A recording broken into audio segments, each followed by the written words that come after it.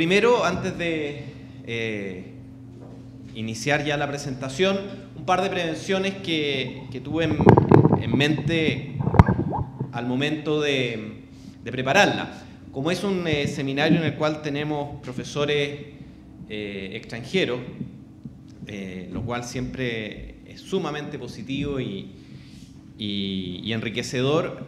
Vamos a ver en la primera parte eh, algunas eh, normas de derecho positivo que a lo mejor para quienes se desenvuelven en el ámbito jurídico en Chile pueden parecer muy obvias, pero que es bueno para contextualizar el punto. Y lo segundo, que inicialmente me voy a concentrar brevemente en temas netamente jurídico-institucionales, después en algunos asuntos relativos a la fijación de políticas públicas y finalmente enfrentar el, tema de la, globalización, que es parte ¿cierto? De, la, de, este punto del seminario. Lo primero, eh, en el ámbito nacional, esto insisto puede parecer un poco obvio, pero siempre es bueno precisarlo. El concepto de competencias desde el punto de vista jurídico en Chile se refiere a las funciones y atribuciones.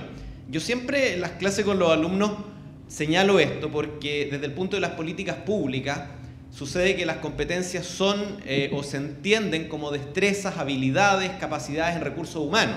Siempre cuento la misma anécdota, pero que es muy decidora. Hace algunos años atrás, no mucho, una autoridad de gobierno encargó a un centro de estudios eh, vinculado a las políticas públicas que hiciera una consultoría una asesoría en materia de transferencia de competencia. Y durante seis meses no se avanzó nada porque lo que entendía la autoridad era distinto a lo que entendía el órgano consultor.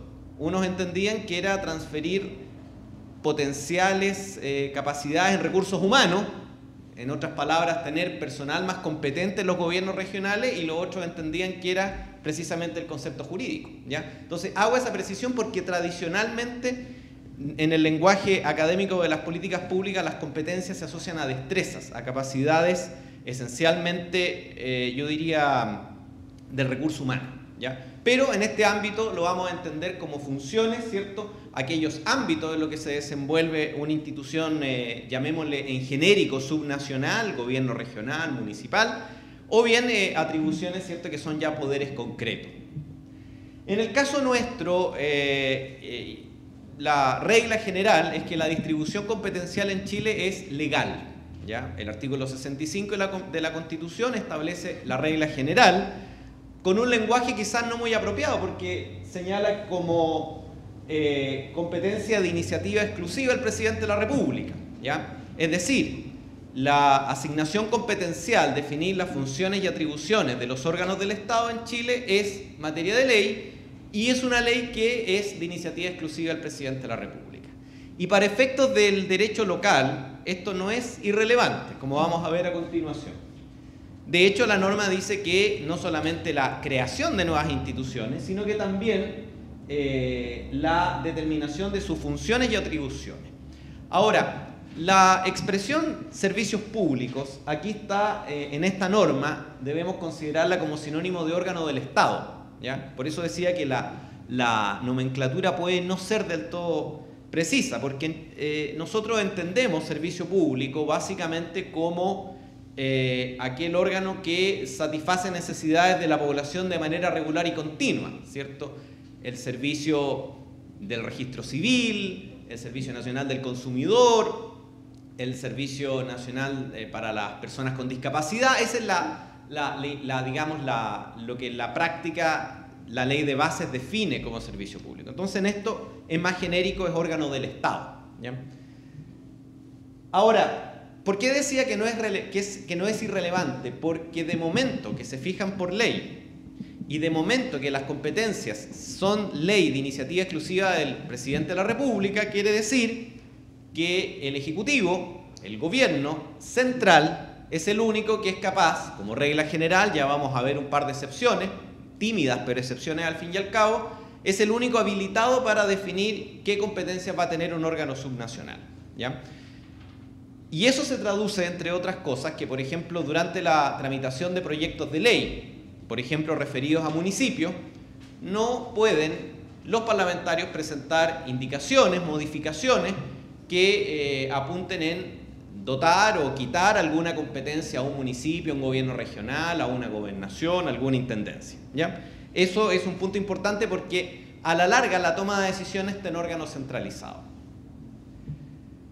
Desde el punto de vista de la evolución o cómo esto se empieza a implementar, eh, acá normalmente hay un trabajo inicial eh, que un ministerio, en el caso nuestro es el Ministerio del Interior y Seguridad Pública, más específicamente la Subsecretaría de Desarrollo Regional, hace un estudio normalmente externalizado, normalmente apoyado en el ámbito universitario, en el cual va a definir eh, una modificación. ¿Ya? Se va a analizar la viabilidad, la conveniencia de entregar o no entregar una nueva competencia a un municipio, a un gobierno regional o hacer alguna modificación de este tipo. Y una vez hecho ese análisis, normalmente lo que viene es un trabajo de coordinación al interior del gobierno. Y este trabajo de coordinación probablemente es la fase más compleja, porque es un trabajo de coordinación en que se tienen que articular normalmente distintos ministerios, a lo menos tres. Y como todo trabajo de coordinación en el sector público es complejo. Y normalmente en el caso nuestro, en el caso chileno, chocan visiones.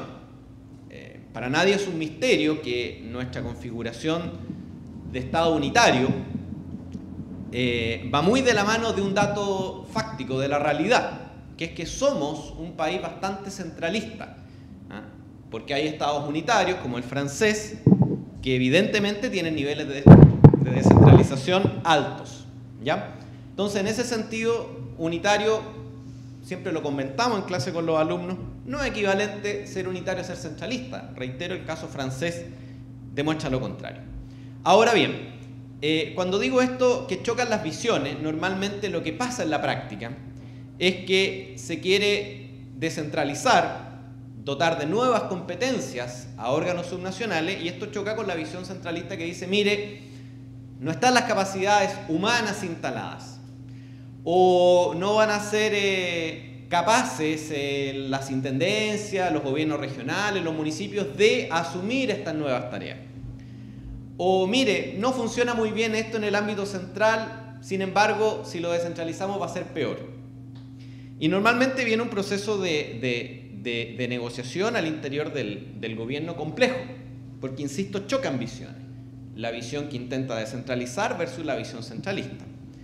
Y normalmente en esta tarea la coordinación más bien va a ser eh, económico-política.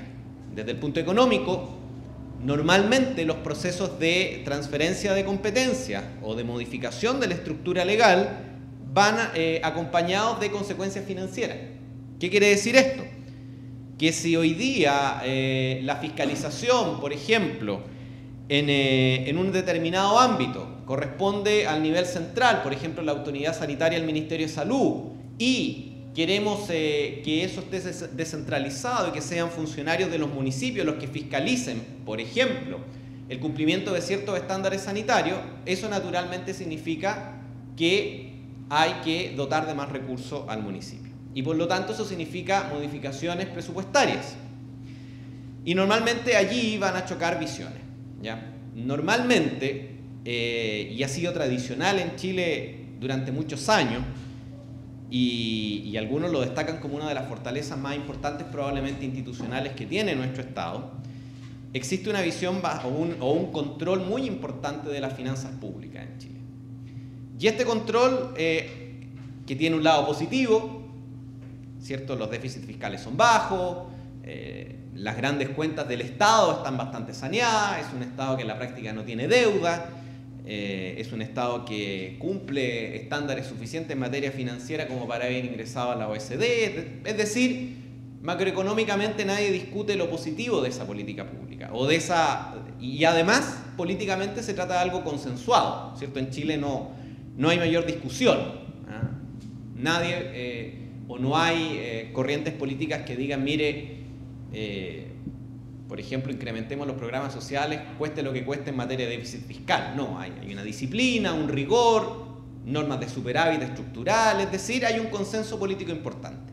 Pero a la hora de descentralizar es una dificultad, porque descentralizar significa, en simple, ¿cierto?, transferir poder.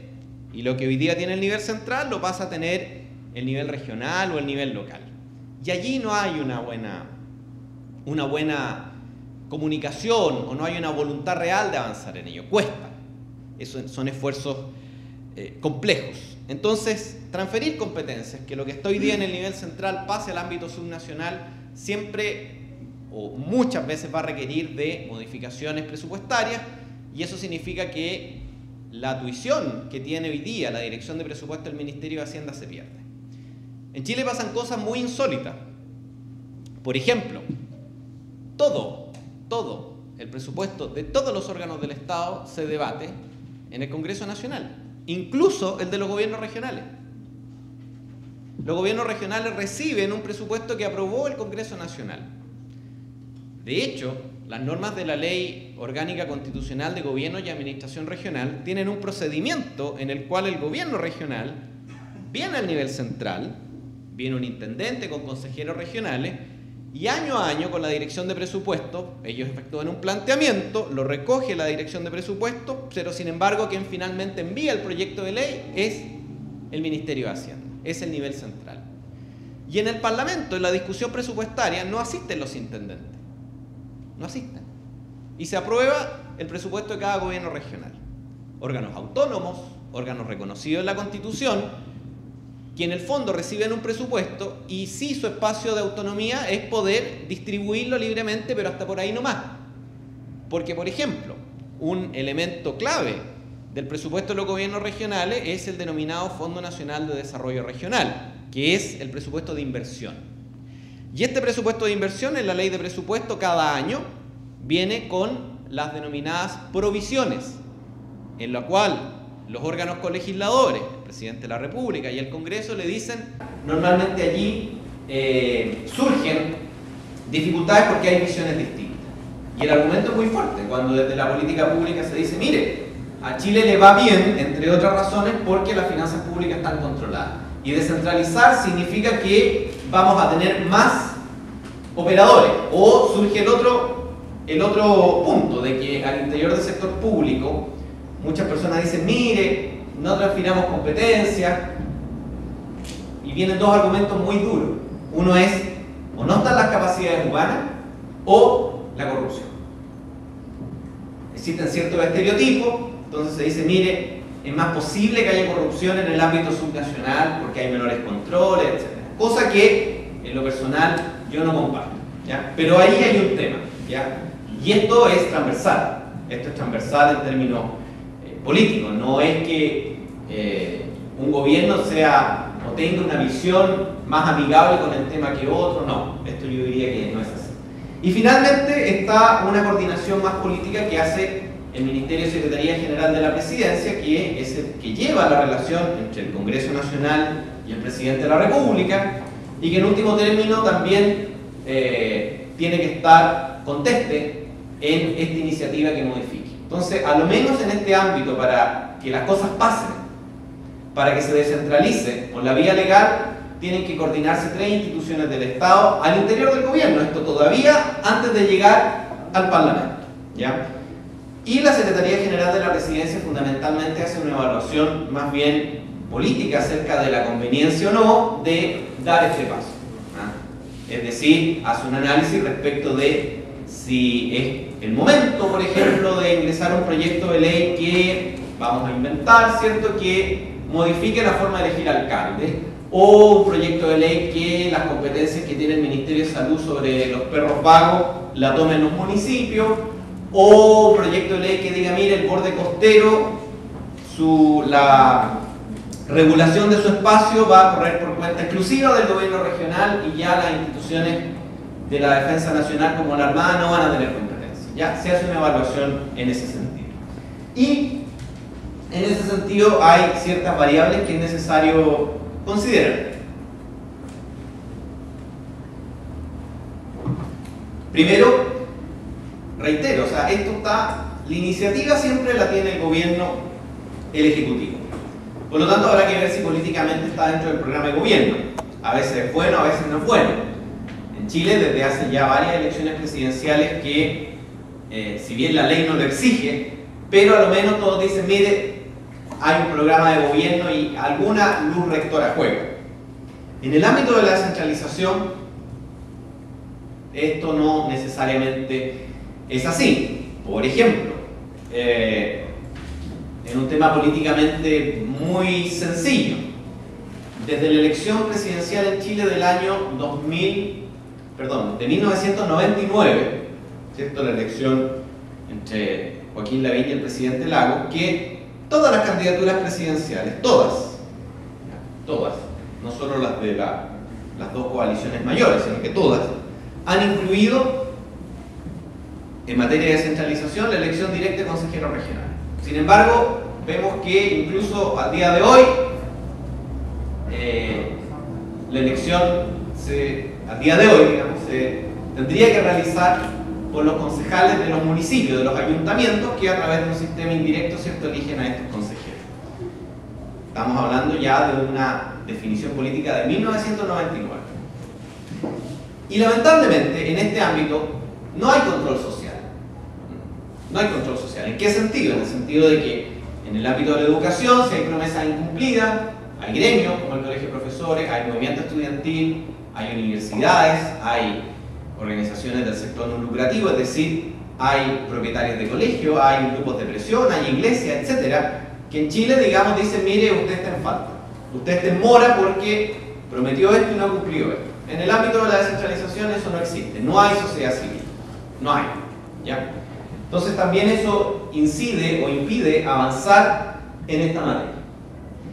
Entonces la evaluación es primero si esto es o no prioridad política, en segundo lugar eh, si es parte o no del programa de gobierno, qué apoyos políticos se tienen al interior del gobierno para hacer este cambio. Normalmente estos temas cuesta, porque claro, no, no tienen mucho glamour, o el hecho de que no haya sociedad civil hace que uno diga, bueno, entre priorizar políticamente un proyecto que, por ejemplo, mejora las remuneraciones de los profesores, que los vamos a tener en la calle si no se presenta, darle más poder a los municipios da igual, porque los alcaldes tampoco van a presionar mayormente, porque no hay una presión social en este tema. El discurso, descentralizar es bueno, en el discurso darle más poder a las regiones nadie lo discute, eh, pero de allí a, a que exista realmente prioridades, reitero, transversalmente desde el punto de vista político, hay un salto grande todavía. Y naturalmente que el Ejecutivo hace una estimación y dice, bueno, tenemos o no tenemos los apoyos políticos eh, a nivel parlamentario, que es la segunda evaluación. Y allí normalmente eh, es complejo el tema. En Chile es complejo el tema porque, primeramente porque, sobre todo en la Cámara de Diputados, un número importante de diputados en Chile ha sido alcalde. En Chile existe una carrera política que tiende a que los alcaldes, después de algunos años de ejercicio en el cargo, quieran saltar al Parlamento lo cual es legítimo eh, y es positivo en el sentido que son parlamentarios que conocen, pero también a veces es negativo, sobre todo a la hora de transferir poder, porque cuando uno está en el Parlamento, en un órgano nacional, y va a tomar una decisión que le va a dar más poder al que está abajo, y como hay una carrera, en esa carrera le puedo ver afectado. Un ejemplo, el proyecto de ley que en Chile permite la elección popular de los consejeros regionales, una de las grandes piedras de tope que ha impedido es definir la base territorial, definir la circunscripción, definir el distrito. Porque la lógica de que tenemos regiones, la lógica dice que la base territorial tiene que ser más pequeña. Entonces, ¿cuál se fija? La provincia, se agrupan comunas. Entonces, ¿cuál es el problema? Los diputados dicen, si aprobamos el proyecto de ley, resulta que yo, diputado, mi distrito lo conforman tres comunas. Y el consejero regional va a ser electo en un distrito que lo conforman siete comunas. Por lo tanto, va a sacar más votos que yo. Por lo tanto, el siguiente proceso eleccionario, al interior de nuestro partido político, él va a decir, yo gané la elección a Core, el consejero regional, con tantos miles de votos, y el diputado en ejercicio ganó con tantos votos menos que yo.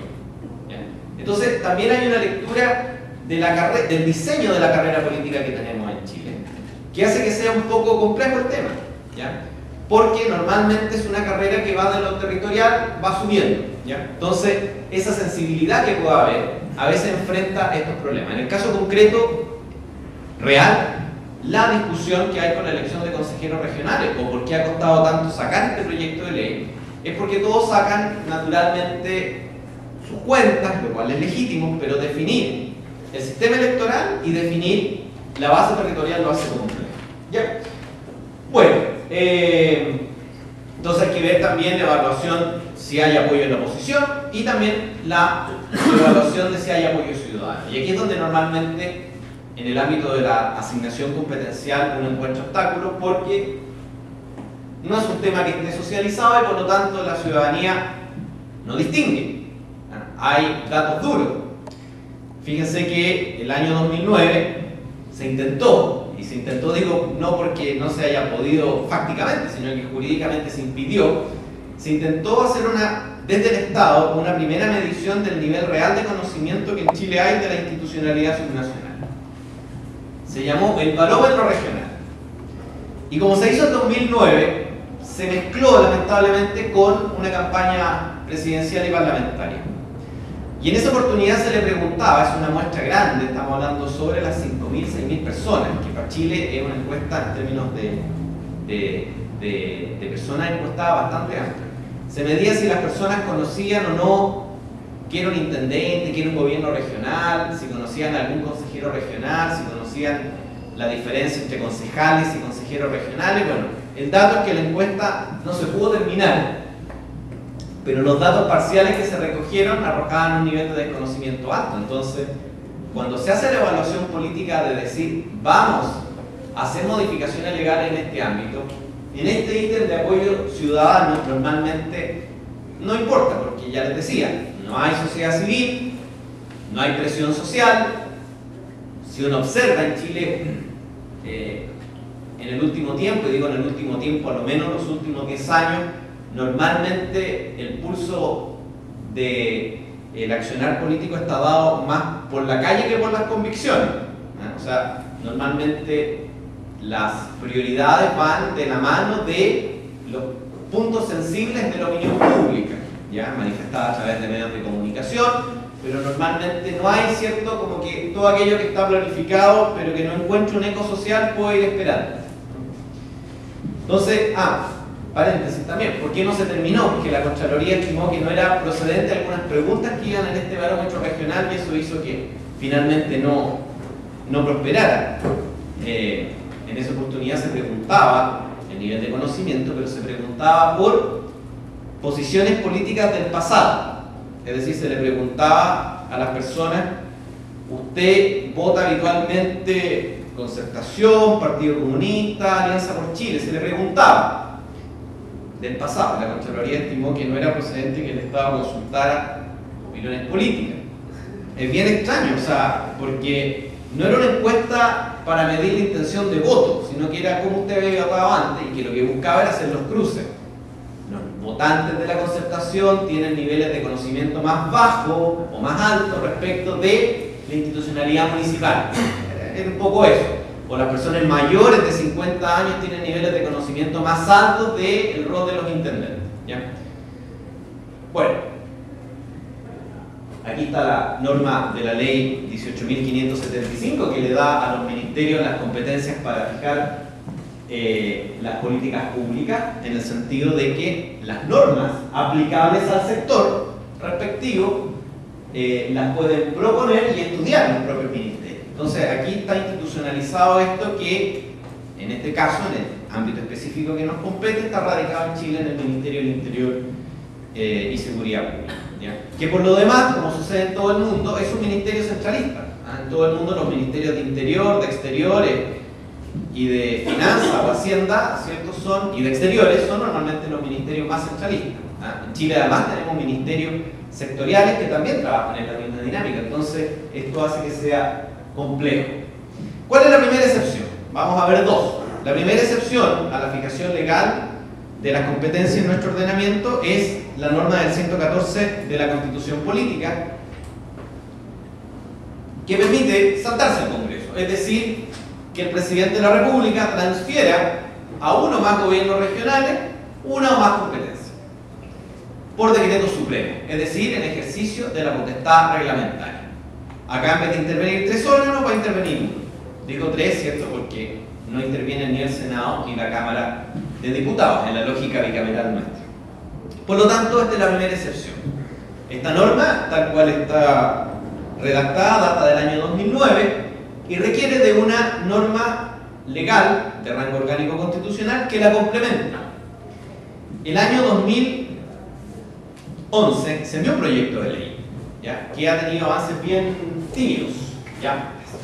bien tímidos, ¿ya? No, ha, no ha prosperado. Y la piedra de toque o, el eje es que el Parlamento dice, ¿y qué pasa si a nivel central, porque aquí lo que regula este proyecto es cómo la región pide que le transfiera la competencia?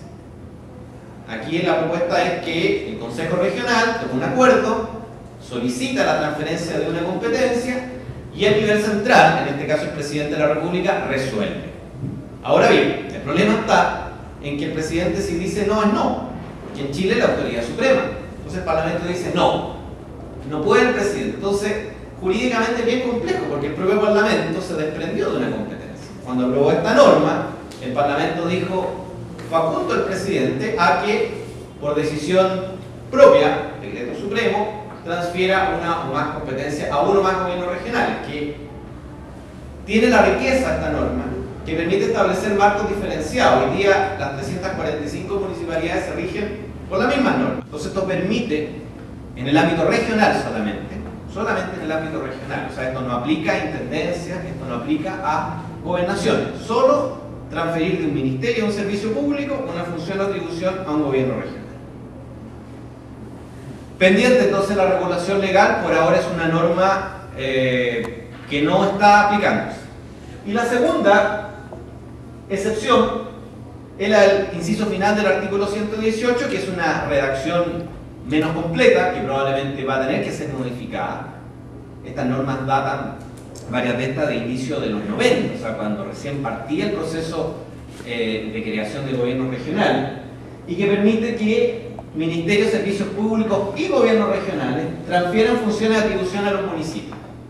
Aquí, si se fijan, es distinta porque no habla el presidente de la República, sino que simplemente habla de una transferencia, lo cual lo que nos está diciendo es Aquí no aplica el artículo 65, aquí no se hace por ley, pero no nos dice, no nos da pistas cómo.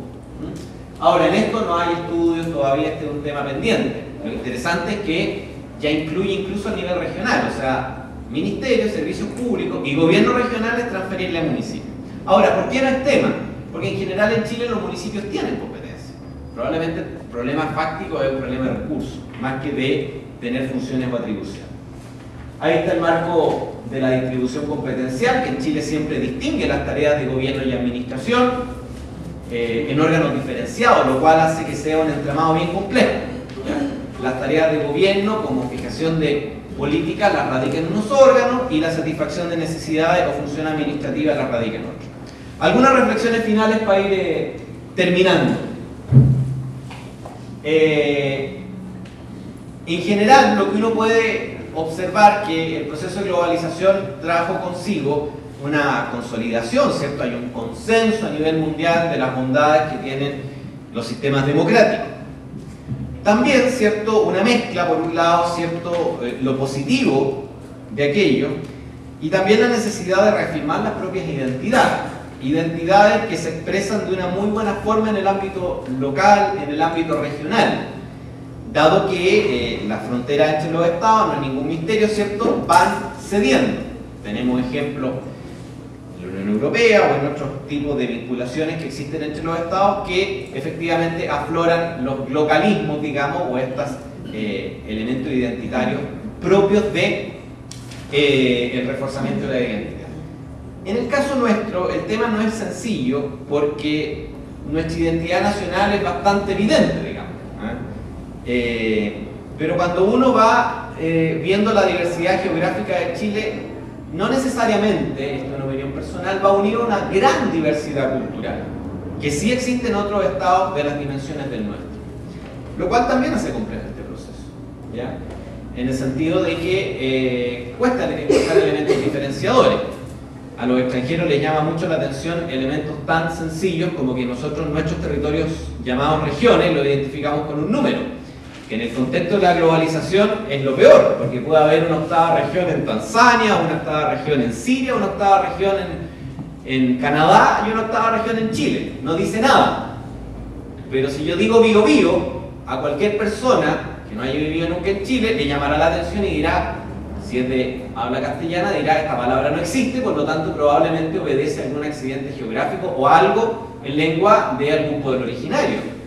Si uno dice la, vivo en la tercera región de Atacama, tampoco dice nada si solo digo tercera región, pero si ya digo Atacama, ya sí es una marca o es un nombre que identifica algo. Por lo tanto, en un contexto de globalización, el tema identitario es importante, pero allí hay cosas tan sencillas como institucionalmente hacer modificaciones legales que permitan a nuestros territorios identificarlos por su nombre.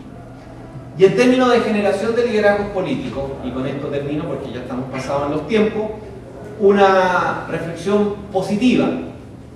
Eh, hasta este año, el único liderazgo político nacional que provenía del ámbito municipal o regional era el del actual ministro de Desarrollo Social, Joaquín Lavín, ¿cierto? que fue candidato presidencial en el año 99, el año 2005, después de haber sido eh, alcalde en dos puntos. Es el único.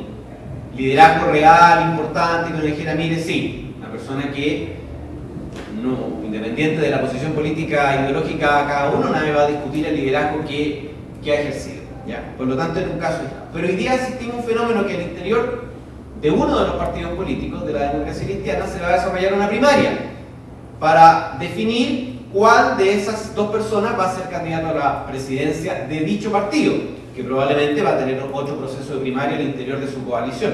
Y allí hay dos autoridades subnacionales, una en ejercicio, que es un alcalde, que es Claudio Rego, y una ex intendenta, que es Jimena Rincón, lo cual da un cambio importante, o a lo menos da una pista de que puede venir eh, surgimiento de que a partir de lo regional, local, surgen liderazgos políticos nacionales. Pongo aquí en la lámina el ejemplo de Italia. Italia celebró elecciones primarias, en el caso del Partido Demócrata, en la cual compitió un político ya nacional, pero que su origen está en haber sido presidente de una de las regiones, que es Pierluigi Bissani, contra un alcalde en actual ejercicio. Lo cual eh, da cuenta de que hay liderazgos que pueden acceder a partir de eh, experiencias o de haber ejercido cargos en el ámbito subnacional. El caso nuestro es difícil, ¿ah? porque la tradición de los últimos años es que en Chile los presidentes llegan después de haber sido ministros de Estado. Antiguamente llegaban después de haber sido senadores normalmente. ¿ah? En Chile hoy día eh, el presidente Lagos nunca fue parlamentario ni nunca fue alcalde, la presidenta Bachelet tampoco, y el presidente Piñera tampoco el caso del presidente Piñera sí, él fue, él fue parlamentario, digamos, pero efectivamente en una, hace ya bastantes años. Por lo tanto, la generación de liderazgo a nivel nacional, a diferencia de lo que pasa en Brasil, a diferencia de lo que pasa en Argentina, que emergen de los territorios subnacionales, aquí es distinto. ¿ya? Y esto puede ser interesante desde el ámbito de cómo podemos avanzar en esto. ¿ya? Hemos mezclado varias cosas, hemos tratado de, apretarnos en los tiempos, pero eso es lo que quería eh, compartir.